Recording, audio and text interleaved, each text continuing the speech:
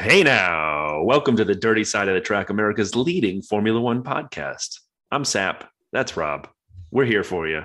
We got one week left until cars are on track. How excited are you, Rob?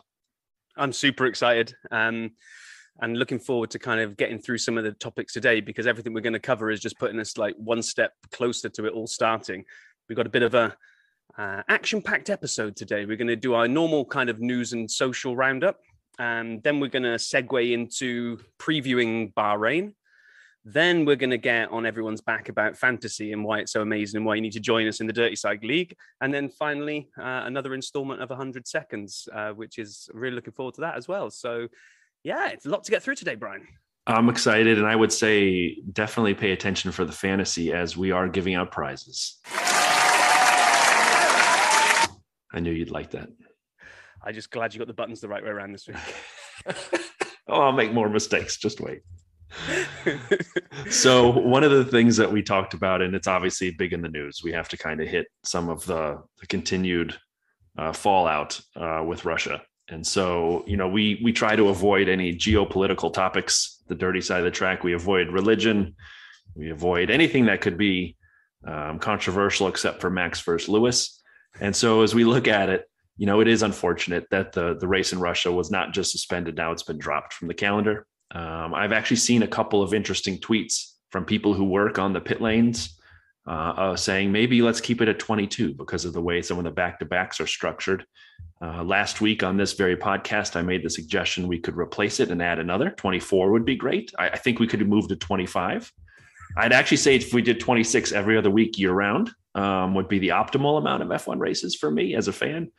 But uh, I guess we'll just find out what they end up doing now that we're at 22 if they replace it if it falls at the same time uh, and what happens. And then uh, as well with some of the the challenges, Nikita Mazepin is no longer with Haas, and we all kind of saw how that came down. I mean, Rob, what are your thoughts with some of the changes, both to the calendar but also the Haas driver lineup? Um, yeah, let's get let's get kind of the downside of it out of the way first, and then we can go back to the silly stuff about the tracks I want to see replace it. But um, Mazepin, it was you could just see it coming. Um, I'd seen the news break, I think, on Thursday that the FIA had offered him this document to sign, which I just thought was the most kind of, I don't know, pointless. Oh, we're going to make you sign a bit of paper that says you'll never say anything bad about anything. And then you're going to be allowed to race under a neutral flag. It's like that was, they had splinters right up their asshole on that one, but from sitting on the fence because and then Haas just took the decision out of their hands and went, well, we're sacking him. We're severing yeah. all ties with the sponsorship deal and with uh, anything to do with uh, Russia. And I thought, well, fair play Haas because I don't really know what was the point of the piece of paper. That so so what? Mazepin signs uh, a letter with the FIA that says I promise not to show any kind of allegiance to Russia and I'll be good. I mean, that just seems like I'll get my homework, miss. I mean, to me, I think it just came down at the end of the day, and this is this is a hard one, right? I mean, Nikita Mazepin didn't ask for this war. He's no, just he's a citizen, wrong, really. Right, exactly. So we all know that. But when he's a paid driver and you're no longer repping Uralkali and you're no longer effectively a paid driver, I think that in my mind is where all of the the dominoes happened and everything around it, the documents, the conversation was just theater. And so for me, it came down to him being a paid driver and losing the paid part of it. So yeah, I don't know. That's kind of the way I saw it. And, and there are a lot of names flying around. Um, there are, as I mentioned during our Schumacher episode, Oscar Piastri, and actually our 100 seconds of DRS guest this week. We spent some time hanging out with after uh, the recording. Um, and it was just fascinating to hear his perspective on Piastri. So I think that's an option. We have uh, Antonio uh, Giovinazzi's been linked. Happy, happy. I mean, we've had a conversation about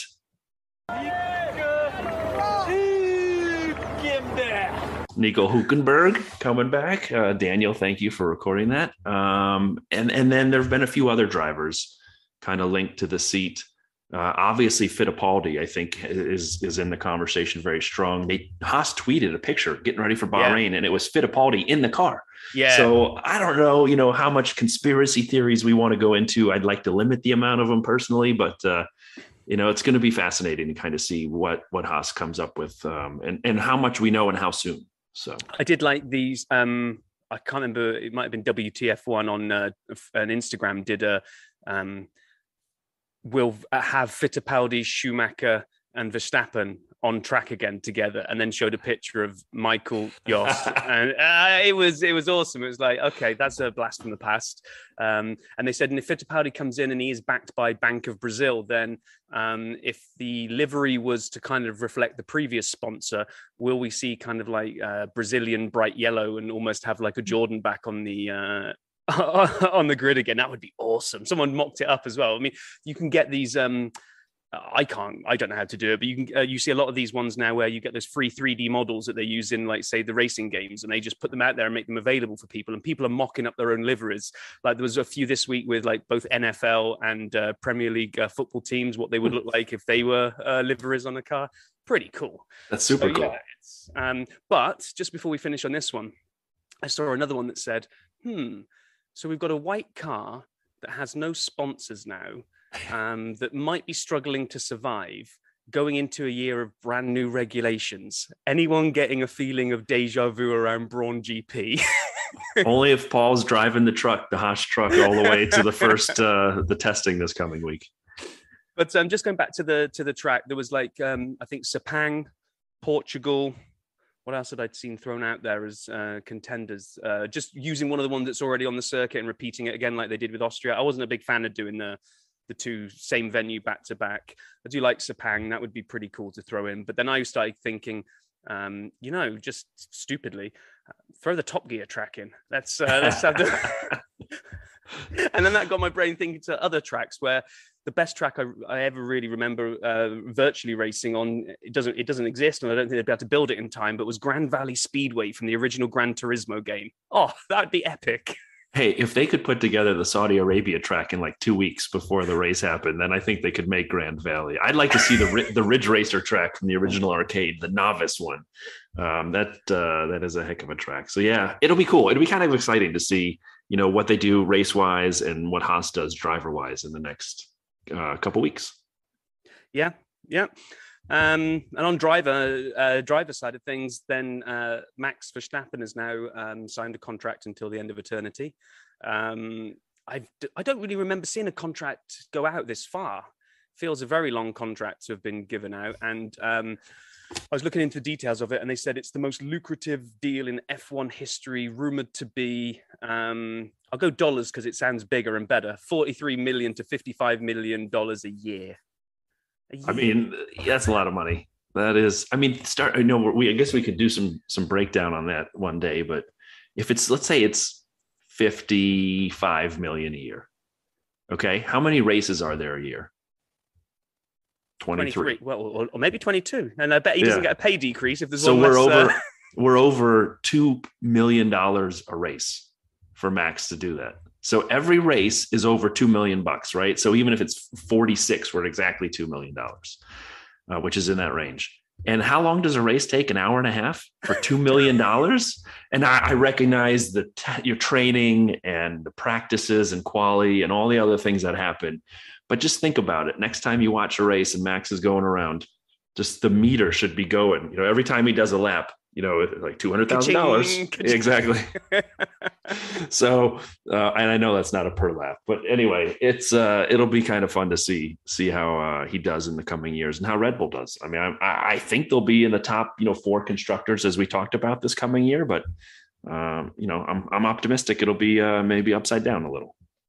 Yeah, we'll, we'll see. And, and, on the subject of upside down, um, a team trying to break its way into that upper echelons is uh, Aston Martin with the livery that we know makes uh, Brian uh, have special feelings. Oh yeah. Uh, if the if the Aston Martin car had that V10 that we played the other day, oh boy.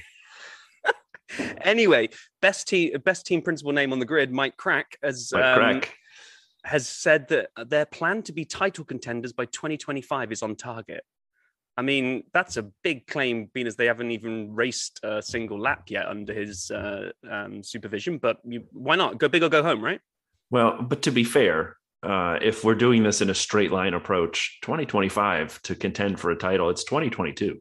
I mean, they just have to be on the grid effectively at this point to, to be to be on course for 2025. So, pay, paging, oh, attention, Walmart shoppers, paging Mike Krack, paging Mike Krack. You're on target. So, I mean, he's he's talking it up big style. It's just nice to hear a team is actively. I know they're all trying to win it, but we also know that all of them are just trying to survive and just trying to not be last because they're pretty much most of them are just thinking, well, it's Mercedes or Red Bull every year. Um, but no, he was he was really talking up the game. The only um, the only bit I don't know if it's a downside, but I pick your brains now, Brian. Is then Vettel came out and they were asking him what it's like to drive the new car, and he kind of took a big intake of breath and went, there is a steep learning curve on these new cars.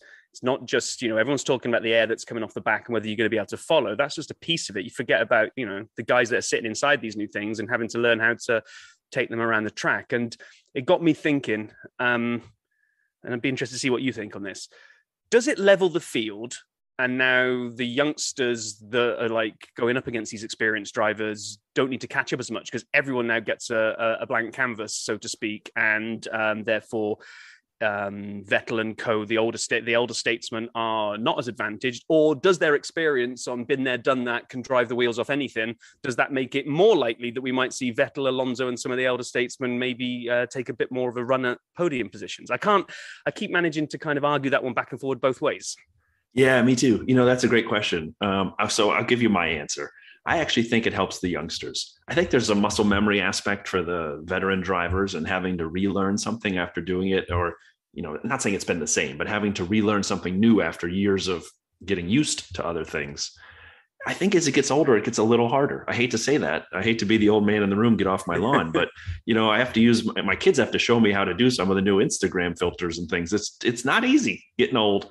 And so I would think it levels the field more, gives the youngsters a boost. Um, and I think one of the challenges for Seb in particular will be whether he has hair or no hair, whether he's bald or got the floppy mopperson, as I call it. All my daughter's friends in high school have the floppy mopperson going. And um, if he has all that extra hair, it's going to be harder to see. So if he comes in bald, he'll be faster, easier to go, and then he has a better chance. But I guess we'll find out. I mean, as I was wrestling with this question, that was one aspect I, I didn't take into consideration, Brian. Yeah. So that's yeah. why you're here, right? That's why you're paid the big bucks to bring those kind of insights to the pod. I mean, everybody is either an Elon Musk fanboy or they kind of look at Tesla with a little bit of a question mark. No one ever talks about the fact he was bald at PayPal. Elon Musk was B A L D bald at PayPal, and now he has like hairs. Okay, all right. I guess that's how that works. I don't care. I, I, don't take him or leave him one way or the other. I love the stuff he's doing, but bald. oh man, I never really knew you had such a, an obsession with uh, looking at uh, men's hair. I just don't understand how you have none and then you have some. It's not how it goes. It goes the other way around. I had some, now I have less. That's how it goes with age. But anyway, enough about that. Drive to Survive is coming. I mean, I can't tell you how excited I am. My wife and I, she, she's agreed to watch with me. Uh, I've blocked some of my afternoon calendar, March 11th, March 11th, Friday, March 11th, Drive to Survive. It'll be, I am so excited, so excited. two o'clock, I have my last meeting. I'll give myself an hour to finish up uh, some work. And then I plan on sitting in front of the television until people yell at me um, and watching as much as I can. So I'm, I'm really excited. Some people have seen some early uh, previews and they say it looks great. So like everyone, Netflix, if you don't pr- subscribe to Netflix, make sure to borrow your friend's passwords. Friday, March 11th. Yeah, and I took a look online. The uh, the episode summaries are kind of already out there. They can tell you what's coming in each episode. So I kind of did a quick flick through that because I mean they wouldn't have known how the season was going to end, so there was no way they could have maybe made it to Lewis and Max title fight all the way through. But I was really happy to see that it looks like a nice varied set of uh, focus per episode, and I'm on target uh, where are we now? Sunday. I'm on target to get through all three seasons before the fourth one starts again wow. on, on, a rewatch. That's pretty good. That's pretty good. I I haven't I'm, seen one in a bit. I mean, I, I, watched, you know, watch them as you go, but uh, I'm just, I'm so excited. I mean, I'm so excited. And we will have here on the dirty side of the track, we will have a recap of it for our next pod. So we will make sure not to give spoilers. We'll do our best to be careful if you haven't seen them all but our anticipation is we will have watched them all when we record the next pod. So very, very exciting. And as we mentioned, cars on track, uh, you know, in an official test around the corner, we have Bahrain. It's Thursday, Friday, Saturday. And t- Rob, do you have the times right in the notes here? Is that correct? I don't know. I was looking at the um, the Formula One app on my phone. When you go in and look at the schedule, it lets you to click on the kind of track time, my time options, and I've got it signed up for EST, and and I and I clicked on it, and it said two till eleven. I was like, that can't be right. But they are further forward than us than the UK, who are five hours ahead. So um, they're another kind of three on top of that, I think. So yeah, I think it's it's it's an early shift. a.m. What you didn't, what you failed to mention is two to eleven a.m. Eastern oh, yeah, time. Yeah, yeah, yeah, yeah. A.m. A.m. So for me That's- in Central, that's one to ten in the morning. Yeah, yeah. Two a.m. here is what it's uh, seven a.m. in the UK, which I think put another couple of maybe three on top is like say mid morning Bahrain. So yeah, Yeah. Oh, all I I'm mean, going to say is I'm not going to be watching the opening few laps. I think you know if it runs for those six hours, I might join them after they come back from lunch. yeah. I've got uh, I've got a little bit of work I got to do those days, but I definitely will be tuning in Saturday to some laps. And uh, who knows? Maybe I stay up Friday night and uh, turn the corner and catch the one a.m. kickoff Central Time. Uh, it's it's it's worth it. It's worth it. Come on. Oh, it is because the big time, the big difference this time for anybody that didn't realize was that um, so last week in um, Barcelona was whatever they called it, shakedown. I mean, we like like like Pit Lane Paul said it it was it was testing, but it wasn't allowed to be called testing. There was no live streaming of it, and we just got to kind of get these little snippets that teams had filmed and put on social media. Whereas this time around, it's full on live TV coverage, which makes it feel much more real um, because if you know if I'm not stupid enough to get up at that time of the morning, it'll always be there on demand, and I can go watch that again. So it'll be great to just properly see the whole thing rather than these little feeder pieces that the teams wanted to show you. Oh, here's a little clip of porpoising. No, I want to watch all of porpoising. I want a feed of every. I, what I want is the the mega cast where like do you ever see that for football especially college football? They'll give you like all the angles of all the cameras and they'll show you it the whole time. I want every corner of bahrain uh, live streamed into my house. I wanted to sit there and enjoy the whole thing. I am so excited that we're back. I mean oh boy. Yeah, one of the things I'd be, I don't well, I- I'm sure my untrained eye won't be able to spot it, but there was already um, something put out by the FIA that said they're going to be on the watch out for upgrades that are not in the spirit of the regulations. And what does that mean I, I don't know. I mean, this kind of goes back to um, uh, when when Paul was talking about are they cheating when they tried to push the envelope of these new upgrades they put on? And yeah, they're probably sometimes putting things on that they suspect are going to get banned or they're going to get told to remove. But if they get away with it, then then great. But I don't like the phrase "not in the spirit" because surely something is either compliant with the regulations or it isn't. There's not like looking at something and going, well, I mean, technically it's allowed, but it's not in the spirit. I mean, well, it's like how the race director has the discretion to make any rules he likes he or she likes up on the spot. Like what is that? Now the the other thing though is that they're actually saying that the area they're most concerned about is um have you have you heard them talking about this flexi floor? No where okay so we're getting the the ground effect this year but we're not getting the full on ground effect of um the 80s or whenever where you had side skirts on the car so you kind of al- almost making like a seal to the floor and really making a kind of almost uh, vortex underneath the car that was kind of like a, a Dyson Hoover that's really sucking you down because you're almost sealing in the sides. And they've said this year there aren't going to be any um, side skirts, so there's still going to be kind of like the airflow. But they're talking about how some teams might be designing pieces of the floor that will actually flex as the car accelerates to almost kind of curve down and kind of maybe start creating like a pseudo skirt. But I'm like, I don't think until oh, who was it who flipped on? It was in Monaco when he went up against the the barrier and we saw the underside of the car because it was a real slow motion crash. It was it Button when he uh, someone went over his wheel and the car just went up and kind of Oh yeah, against the barrier. I, by think it was. tunnel. I know who you're talking about, and he kind of And- turned sideways. Yeah, Yeah, and it wasn't a spectacular crash, but the reason that one sticks in my head is that I remember looking at the underside of an F1 car and thinking, how plain and boring and low tech does the underside of an F1 car look like? You know, the top surfaces are all these hyper aerodynamic structures and, and polished and shiny, and this thing went up on its side. I'm like, huh? Well, you don't see the underside of a car.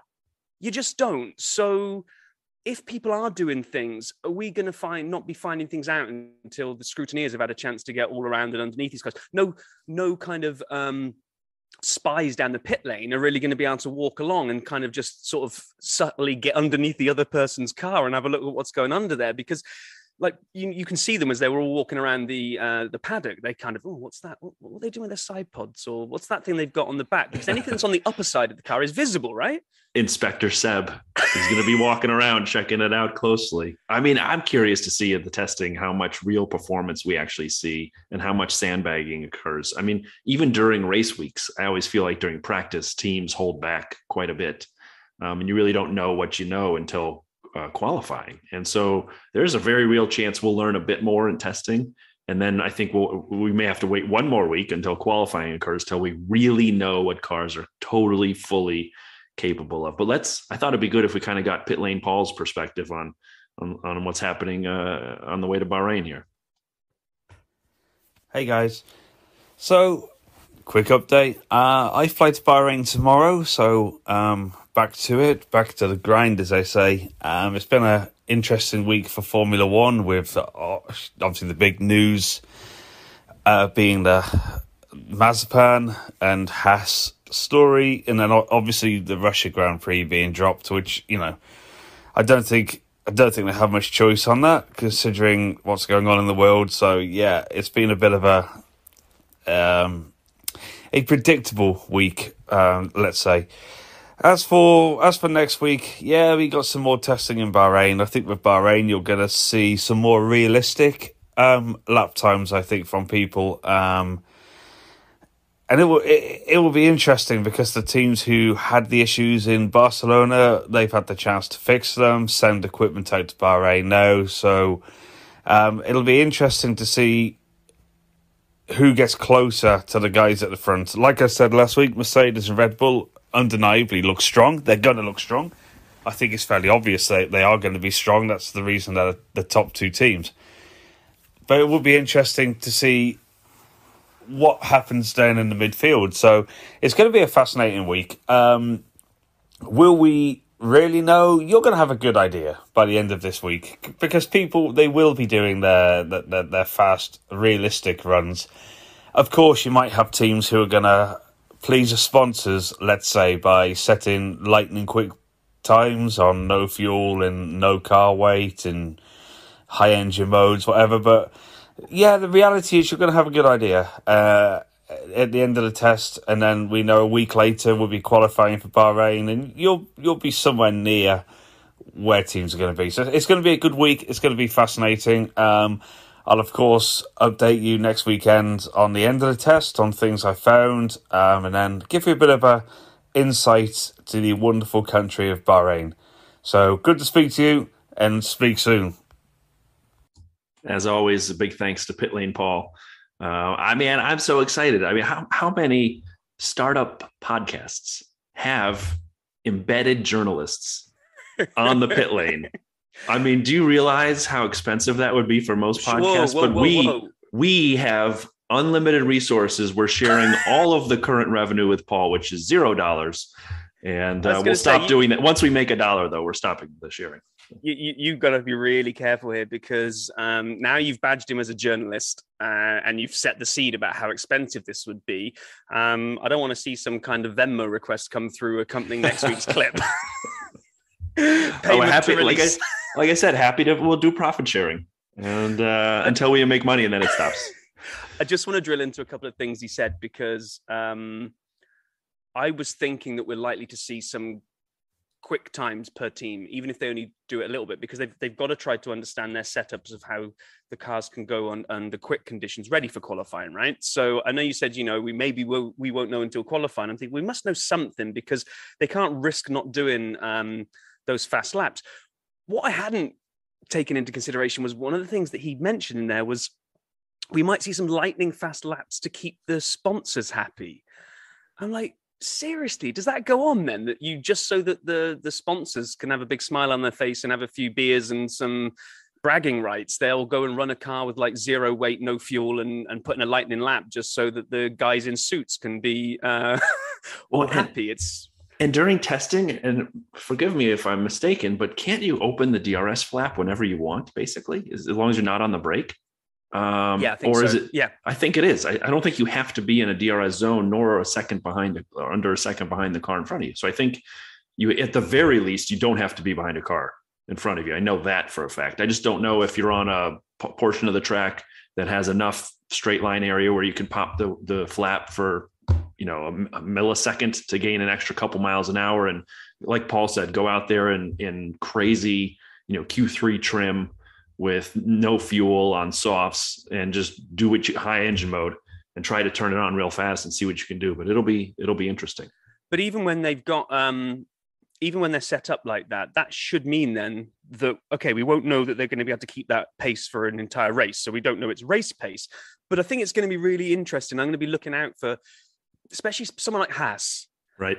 When they go out and set their lightning lap, if their lightning lap is no faster than me in full race trim on my lawnmower going around. Uh, I can get some. I can get some decent speed up going around my yard.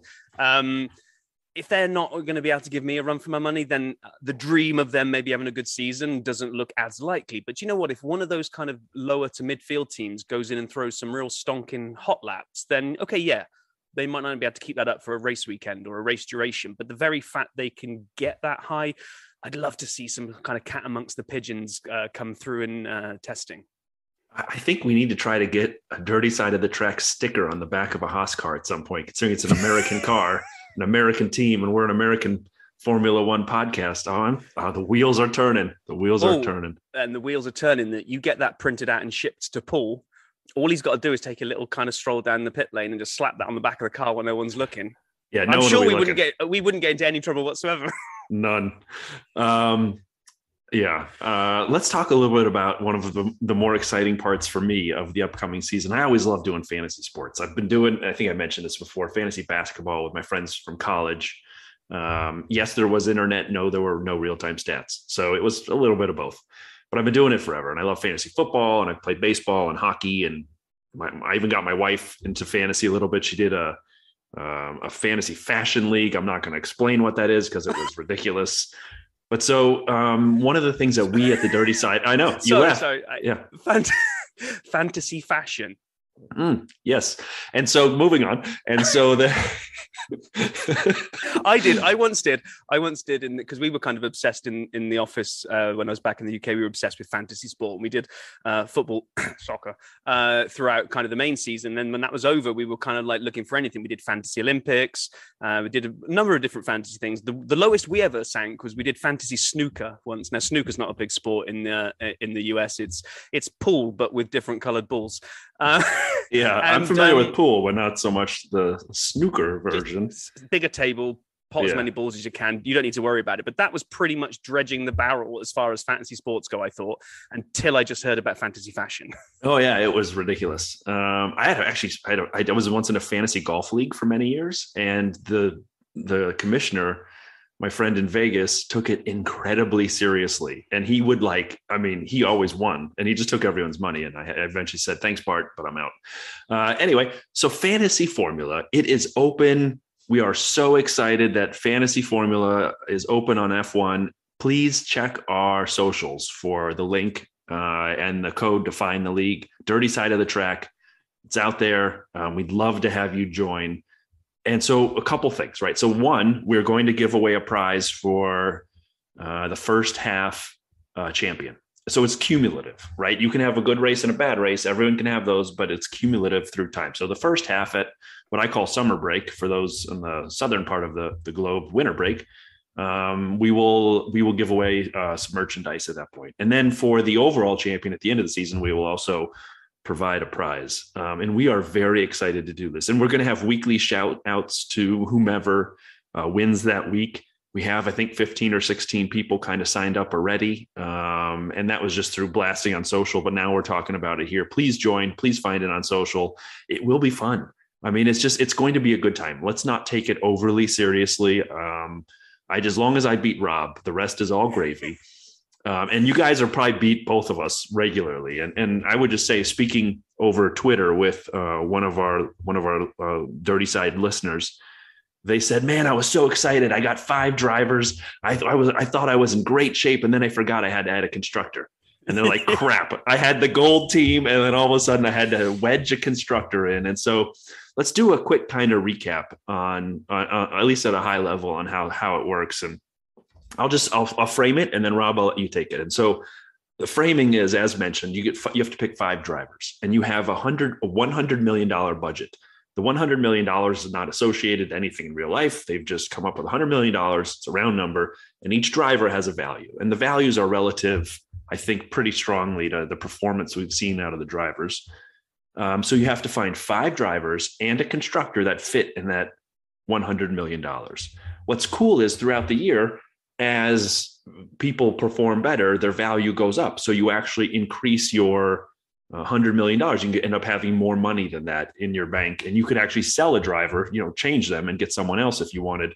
Um, by growing and riding people who have had success. I think I joked last year I finished at about 104 million, and that doesn't sound like a lot, but that was a lot of appreciation to work throughout the year to to do that. As because I mean others go down, so it's not as though it's all going up.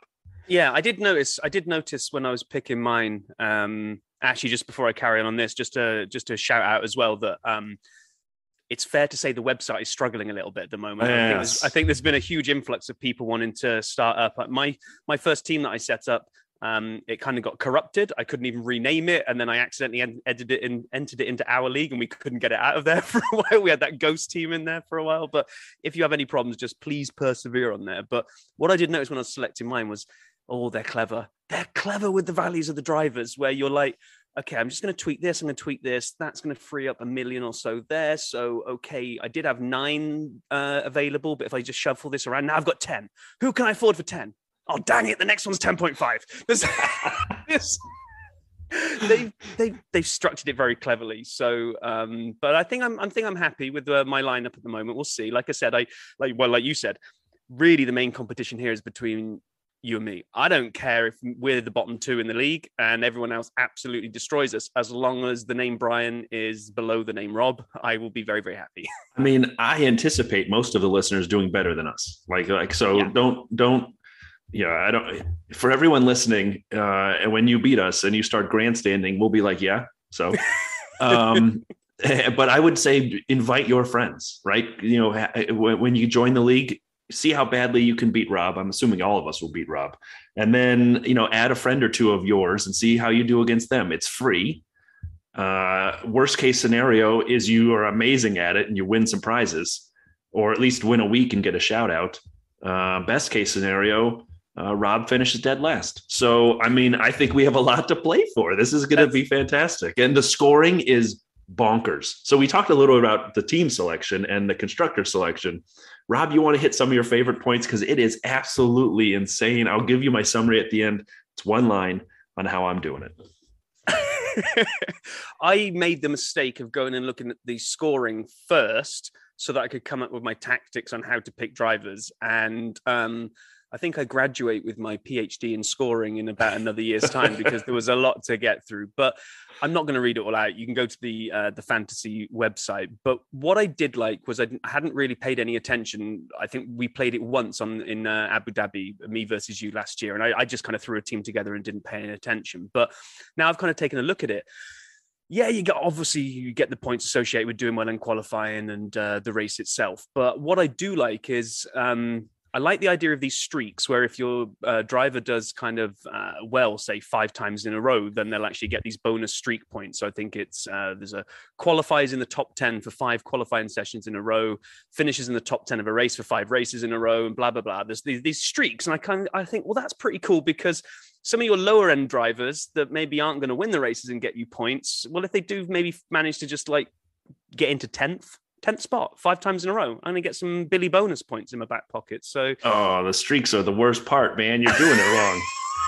Who cares? I mean, it, yeah, it's you shouldn't. It shouldn't matter. It should be improvements, or I don't know. It's too complicated. Like it's just too much for me. I get there's a, there's points for out qualifying and outdoing your teammate, or actually, and then improving on your spot when you start low. If you improve, there's points for improving your position from start to finish. That all makes sense but to me, the meat is where you finish, which are a lot of points associated with that, how you qualify, a lot of points associated with that. Um, and do you do you finish? There's a penalty for not finishing. So I love just the meat and potatoes. And the way I look at it is pick the best drivers you can. I mean, well, I know that sounds obvious, but like we all have favorites. I'm not I'm not going to sit there and debate between, you know, Lance Stroll and Pierre Gasly because I'm I think one of them is coming on a hotter streak or may out qualify. No, man, I'm just I'm gonna think if Pierre's better in qualifying, I'm gonna get some points that way. If Alpha Tauris are better on faster tracks or maybe better on slower tracks with the downforce, then I'm gonna go with them there. But that's about as much as I'm gonna read into it. So Rob's taking the mad scientist approach.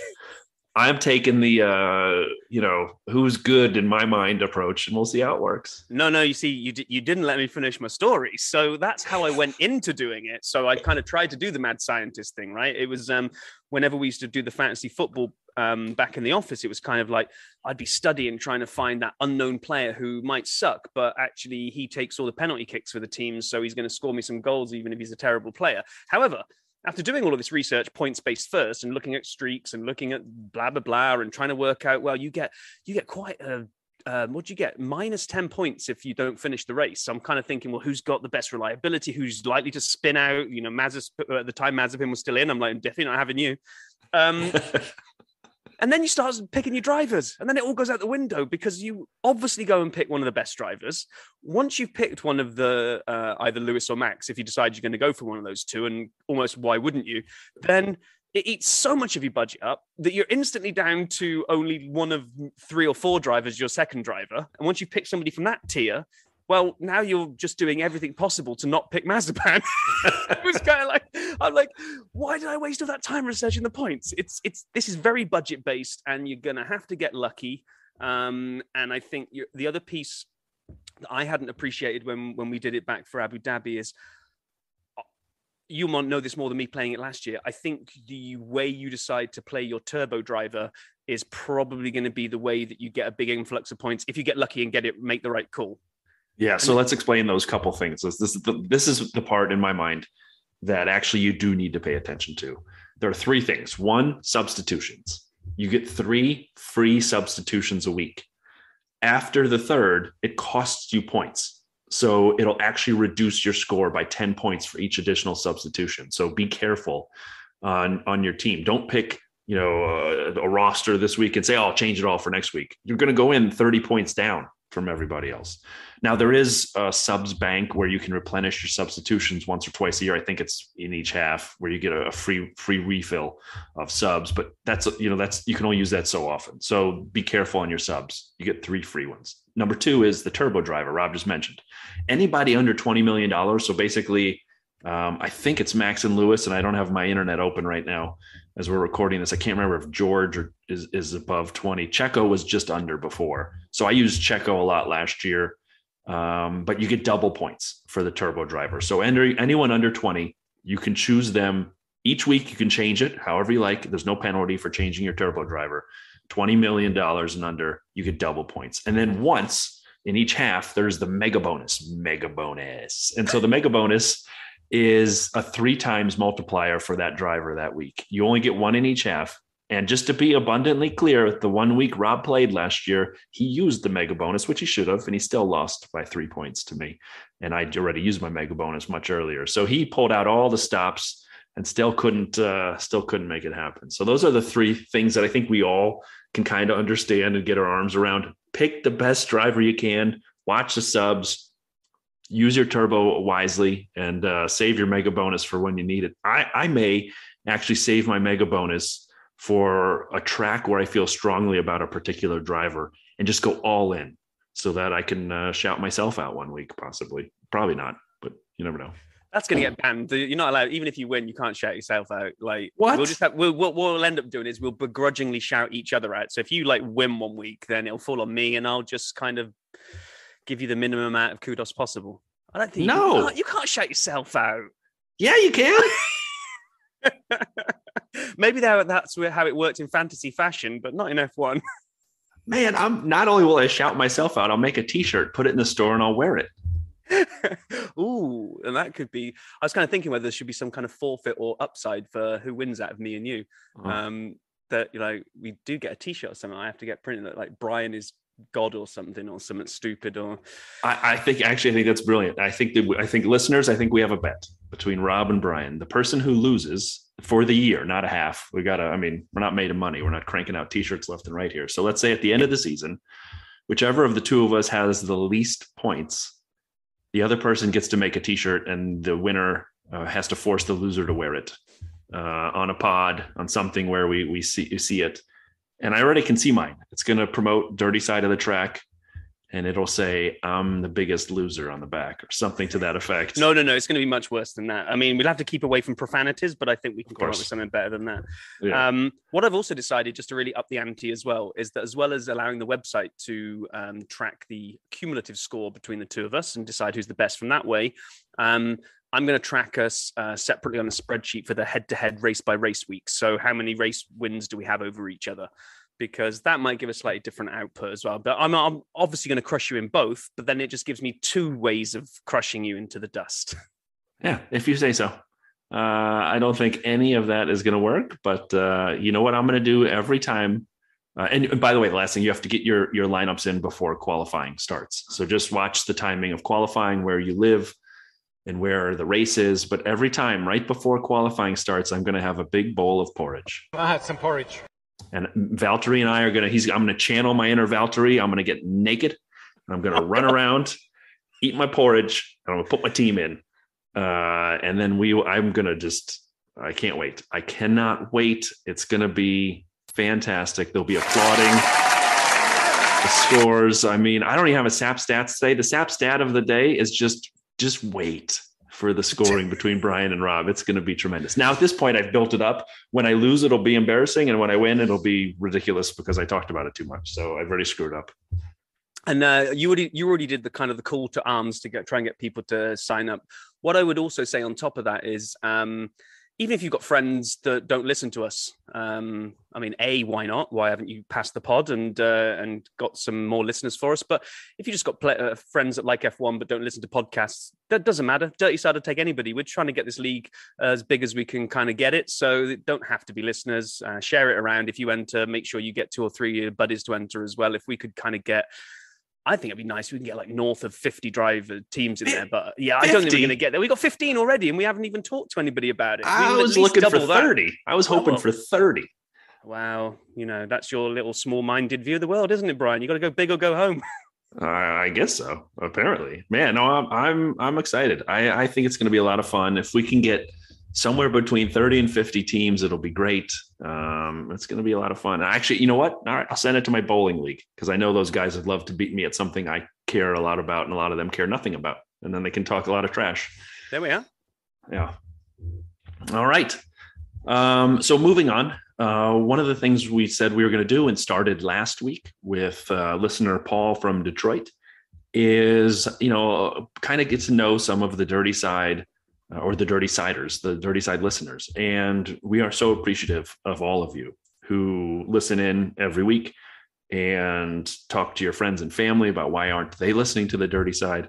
Um, but, but, what we're going to do is, is, as I said, keep highlighting listeners. And, and Rob, I'm going to turn it to you uh, for our next 100 seconds of DRS. Okay, well, uh, this week we've got another listener that's coming on to do the 100 seconds of DRS. And uh, no offense to the two Pauls that we've had so far, but this one's even more exciting because it's somebody that actually neither me or uh, Brian know. Uh, and is actually our first ever official fan to really start following us on Facebook and Twitter. So I'd like to welcome all the way from Australia, Mark. How you doing, Mark? Uh, good, Rob. Yourself? Yeah, good, thanks. It's uh, what time is it right now for you in Australia? Uh, logged on at 6.30 in the morning, so it's still dark on a Sunday morning over here. Oh, wow. It's Sunday and it's Saturday for me and Brian. This is a bit strange, but okay. so uh, how long you been uh, how long you been following Formula One? Uh, off and on, quite a long time. Um, probably back into the uh, into the late 80s, early 90s, where I um, was really following Formula One. However, I did have a bit of a hiatus when uh, we had that procession time where there wasn't a lot of competition in Formula One, but um, after last year, I'm I'm really excited about 2022. Nice, nice. Yeah, and I think well, Brian, you did the same kind of thing, didn't you? Didn't you kind of have a little hiatus uh, along the way? I did. Schumacher and everybody really got me in, and then um, quite honestly, I went to college and time was precious, and I kind of lost track. um, and I got back though in the early 2000s, so late mid mid late 2000s. Right. Okay, but the reason we're here is to do the uh, the hundred seconds of DRS, and uh, which you've signed up for, Mark. And Brian's turn to ask the questions. I'm on the timer. Um, I don't think we've quite hit the hundred seconds correctly yet. I screwed up the first week and only did ninety seconds. Uh, Brian did about, uh, I think we did ninety five last week. So not only are you going to be the first person to do this that isn't a friend of me or Brian, you might actually be the first person to have hundred seconds as well. So, um, are you ready, Mark? Well, I don't know whether that's a good or a bad thing, but let's go. you ready, Brian? Uh, I would just say that last week when we had um, non pit lane Paul, I had catastrophic earphone failure. So let's hope that doesn't happen this time. Um, I am ready. I'm not hooking my phone up to my earphones, Brian. So we will uh, will avoid that one. So I'm going to count you in three, two, one, and then I'm going to set the old timer off, and it'll be over to you guys. So three, two, one, go.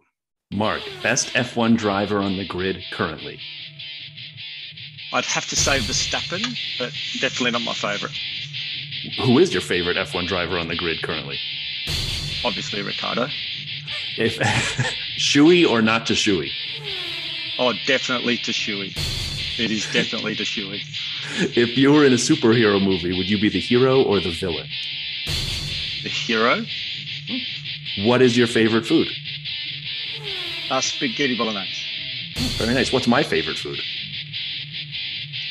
Ooh, I have absolutely no idea.